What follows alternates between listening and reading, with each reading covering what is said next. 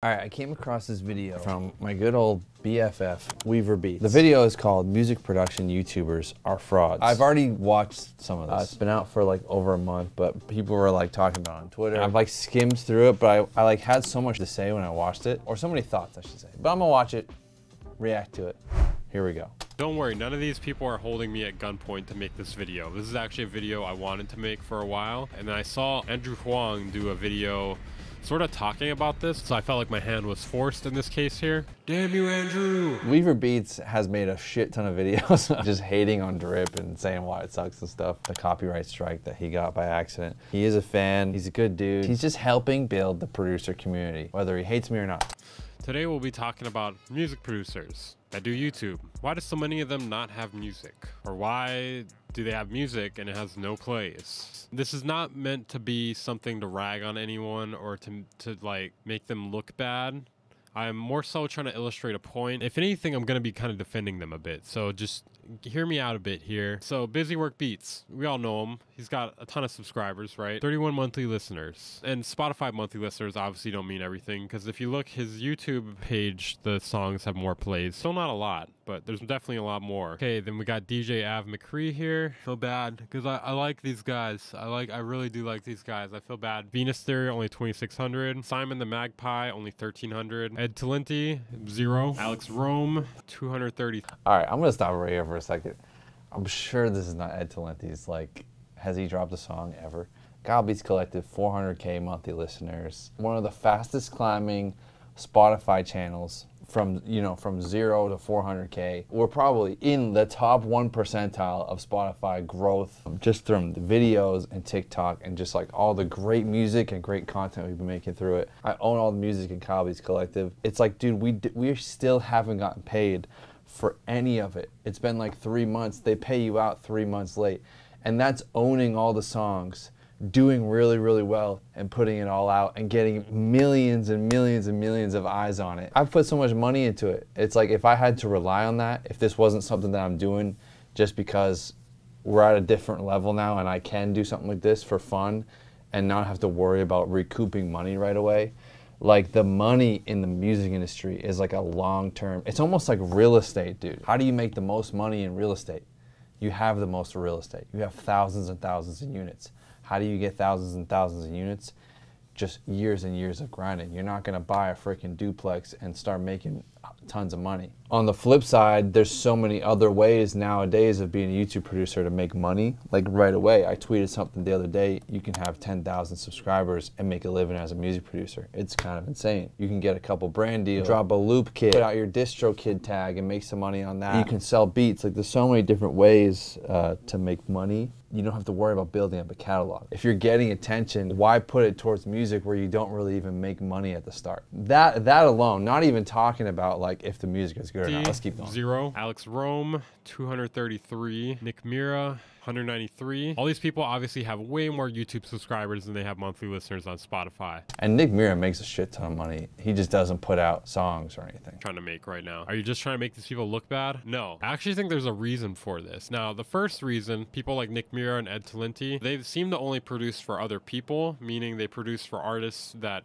do vocals usually, and because of that, the monthly listeners don't show up directly on their page. It only does that when the artist adds them as a artist on the track. So if you're a producer, you're not always featured in the artist section. In this case, it seems like never. And then now for the other people, the people that do tutorials, I actually have a few theories as to why they don't have monthly listeners. And it's not because they're frauds. They're not frauds, okay? I don't think any of these guys are frauds. I actually like all of their content, to be honest. I think Busy Work Beats has great videos for beginners, and he has a huge abundance of them. Are some of them misses? Yes. Are some of them absolutely on point? Also, yes. Ave McCree does a great job as a critical reviewer, sort of like what I do.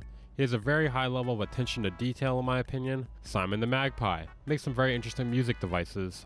There's also like so many different like I haven't even heard of these dudes. Like this guy does not make. Is he out here making trap beats in FL Studio? There's so many different like busy work beats. Kind of just only does tutorials. I'm out here just making beats and making songs. Even like Simon. That's Simon Servita is the most comparable channel channel to mine. FL Studio making beats. Like his way of doing it is so much different. He has all these different musical skills and does like crazy 808 things. I'm just making like hypey little trap beats and telling stories about it. It's such a mess right now because five years ago this shit, this niche didn't really exist. It's like the beginning of the gaming niche. There's so many different ways of doing it. tweaks them in interesting ways. Venus Theory provides a lot of valuable plugins and music theory information on its channel, etc. You guys get my point here. It takes a lot of time to do YouTube. Like you basically have to upload every few days or every day. Some people do like once a week, but usually those are like much more highly produced, processed videos. And because of that, like maybe they don't have the time or energy to finish their tracks and to upload them. Uh, I've actually been experiencing that ever since I've been focusing more on YouTube. Some of you may say, hey, don't some of them have editors or why don't they have editors? Music production is actually a much smaller field on YouTube than you think it is. Or it's a lot harder to retain the level of viewership that would warrant getting an editor. Like I wouldn't be surprised if Busy Work Beats edits his own shit.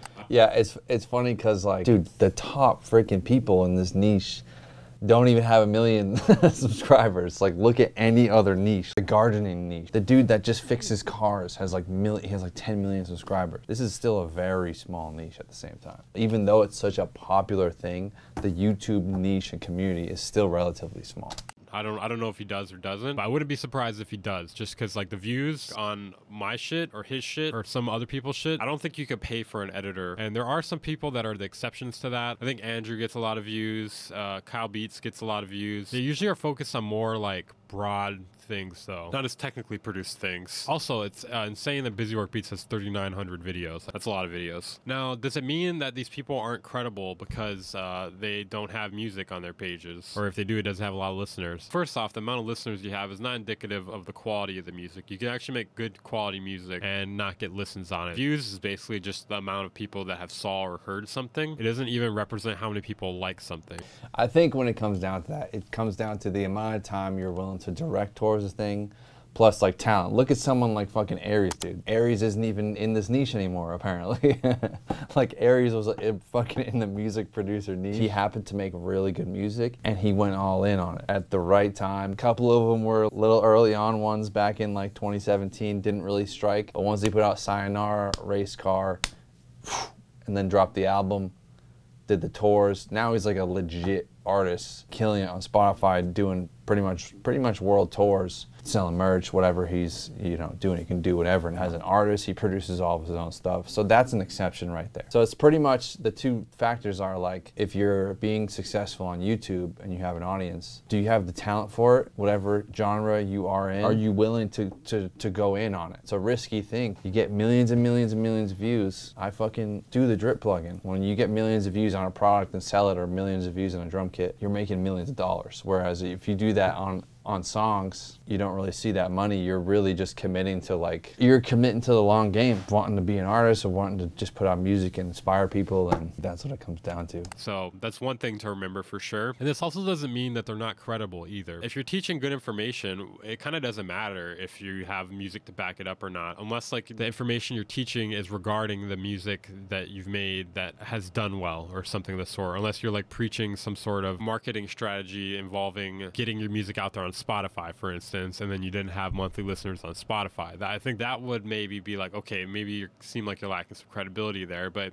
in terms of like how to make a certain type of beat versus how many monthly listeners you have on Spotify, I think those two are not really correlated. It's also like music producers. Like, we're all fucking music producers. How are you gonna get monthly listeners? Eldre, Illusion, they both were at at one point over a million monthly listeners. That's lo-fi beat. I know Chris Punchline's killing it too. I forget what he has. Chucky Beats collabs with artists. He's doing really well with like 300,000 monthly listeners. It's a tricky concept. I have dropped my own songs that I do vocals on on my own Spotify, and I also do the Beats Collective thing, obviously, which we've been doing a lot of lately. There's so many different fucking decisions that you can make as a as a producer. Like it's like there's so many different options, and I think if I was gonna give advice, people just have to go with what they're naturally good at. Beats Collective was never in the plans. It was just it just came so fucking natural. I was like, I'm so good at putting together songs and putting them out. It makes such great content. I was like, I have to fucking do this. And that's why I started even doing that. I think Simon's fucking course is fantastic for him. Me personally, I don't think of doing a paid course because it just doesn't come natural for me. I want to put out plugins, drip, spaz. That's what like fulfills me more so than like a course. But it's it's funny because he's so right though about from the outside looking in.